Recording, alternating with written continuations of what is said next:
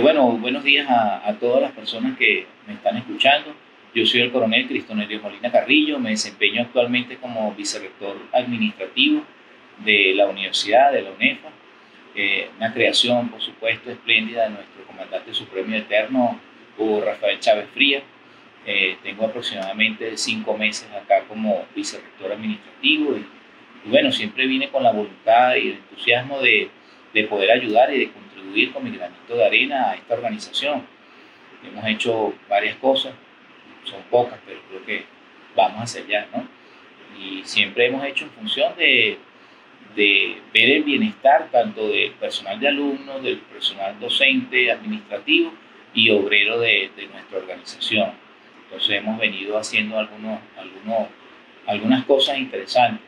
lo que son la reparación de los baños, acá para el personal de, de alumnos, hemos puesto también alumbrados en la parte externa, hemos arreglado los jardines, Estamos actualmente colocando cámaras de seguridad y circuitos de seguridad en la universidad para lo que es la seguridad, el resguardo y custodia del, del material que aquí tenemos.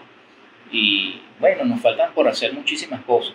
pero como dije anteriormente, pues siempre queremos es colaborar y contribuir desde nuestros espacios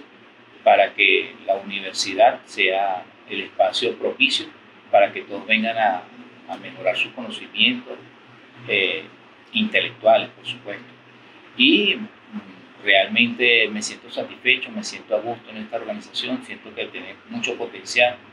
y más me siento orgulloso y honrado de que pronto vamos a estar cumpliendo 25 años de, de fundada y bueno, lo que quiero es que esta universidad siga creciendo, que se siga manteniendo en el tiempo y que podamos conservarnos siempre de esta manera y, poder mejorar siempre en el tiempo y que de aquí salgan los futuros jóvenes que vayan en, emprendiendo y que contribuyan con su quehacer eh, en los sitios, en las áreas de trabajo, con el desarrollo de nuestro.